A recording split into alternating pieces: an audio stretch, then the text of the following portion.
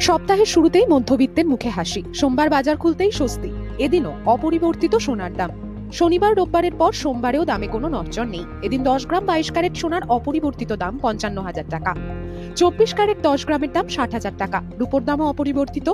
এক কেজির উপর বাটের দাম সাতাত্তর হাজার পাঁচশো টাকা।